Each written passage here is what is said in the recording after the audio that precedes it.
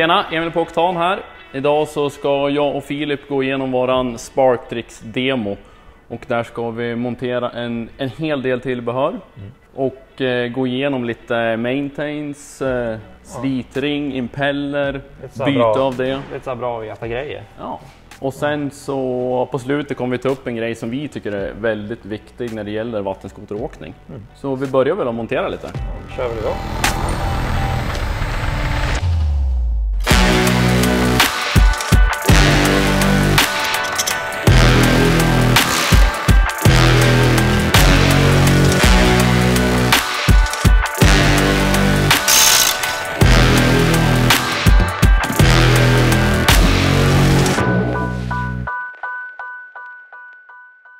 Jag tänkte börja med att visa hur man byter och kontrollerar slitring och pumphus på en Spark. Eh, den här är ju helt ny så den här är, den här är fräsch, det vet vi ju. Men eh, bara för, bara för sakens skull tänkte jag att vi ska mm, kontrollera hur, det, hur man gör. Och slitring kan du ju enkelt byta själv om det är så att impellern är hel. Eh, däremot är impellern skadad så, så rekommenderar jag väl att du lämnar in den i alla fall. Du har ju det är ett specialverktyg som behövs och sen är det lite moment och lite fett och lite sådana saker som behövs. Slitringen i det här fallet sitter, sitter klämd emot vattenskotern eh, med pumphuset så det måste lösas med hela pumphuset. Däremot så sitter pumphuset väldigt enkelt till på de här så att det är, det är sju skruvar så är du, så är du helt lös. Eh, vi kollar ju då efter reper eller eh, ojämnheter i slitringen till att börja med. Sen plockar man bara lös slitringen, kollar igenom den en extra gång. Det kan ha varit så att du har fått in någonting så att det knappt är någon repa men den har spruckit. Den här är gjord i plast. Eh, när vi har plockat lös den då ser vi ju ganska tydligt impellern och pumphuset. Impellern, där kollar du bara efter skador så att, den inte har, så att ingen av vingarna har böjt sig eller att de har fått en smäll eller att det sitter fast någon sten eller någonting emellan här. Och pumphuset, samma sak där. Kolla så att det inte saknas någon bit ur vingarna i pumphuset. Eller... Så det är det vi kollar efter och så kollar vi det ska vara ett spel på ungefär 0,3-0,4 mm mellan impellern och slitringen när det är nytt. Annars kommer det bli kavitation i och kommer man börja suga luft och då kommer man inte gå som man ska.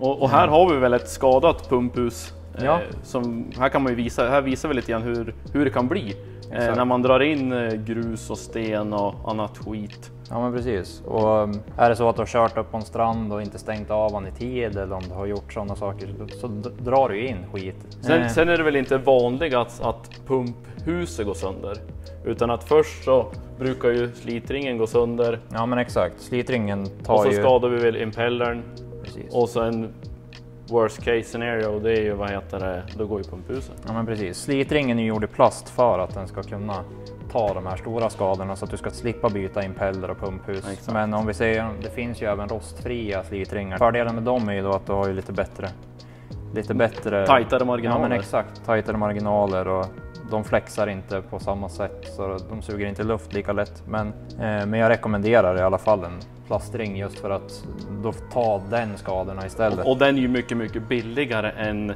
impellern och pumphuset. Ja, men exakt. Det är väl när man ska komma upp på de här nivåerna när man håller på med racingen och det här man verkligen vill ha den här eh, prestandan. Det är ju då man måste gå ner på de här tajtare grejerna. Ja, men precis. Bara för en alldaglig körning så är det ju slitringen av plast som är, som är eh, viktig. Ja, men precis, precis. Och det är mycket lättare att byta en slitring än att byta allt annat också. Både lättare och billigare. Ja.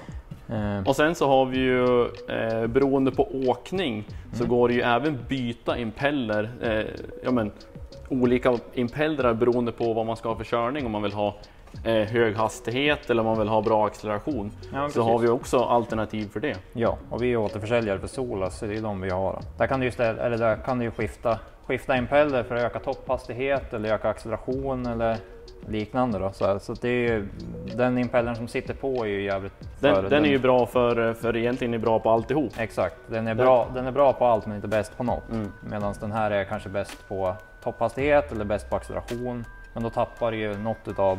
Ja, det beror ju lite på vad man vill göra. Exakt.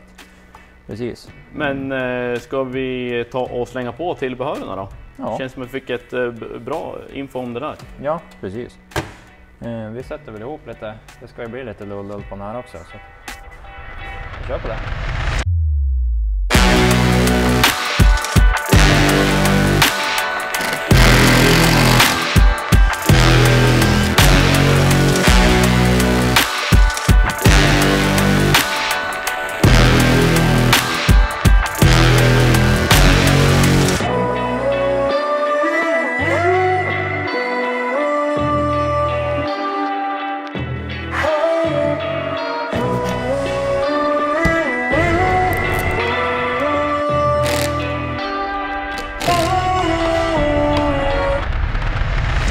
Alla tillbehören på. Ja. Sjukt snabb du är. Nej.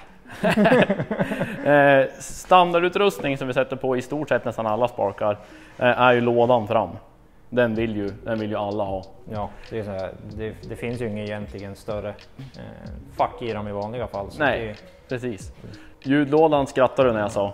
Vad vill du kalla den? Är poplådan. Poplådan. Eh, det är väl...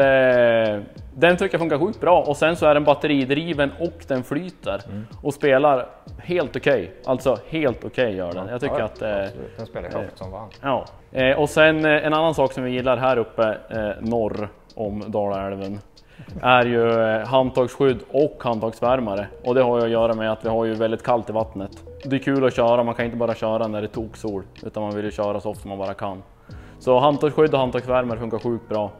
Och sen, jag tror att ergolocken kom till trixen i fjol. Ja, det kan nog stämma. Det Ja. där, där ska ju du ha kul. Ja, ja, ja men, men jag har för mig Det du som är säljare. Och eh, den där ergolocken funkar även som ett, eh, nästan som ett knäskydd också, för man är ganska blå om knäna efter man har varit ute och kört en dag på dem. Men det här hjälper mycket. Ja, det är jäkligt skönt där. Ja. Kunna låsa fast knäna lite grann också. På ett annat sätt. Och sen så har vi ju även eh, ett nytt och det är att kunna sätta en, eh, en linklåda bak på, på trixen. Lite linkfästen. Ja, och det där, där spelar det ju ingen roll om ni har en eh, gammal från då ni åker skoter eller eh, egentligen vilken maskin som helst. Så är det rätt mått på lådan så passar den. Det behöver inte vara ett sidotillbehör. Nej, det är ju samma som du har på tunneln på en skoter. Det är Ja. ju samma mått. Ja. Att, mellan hålen. Så att det som helst passar.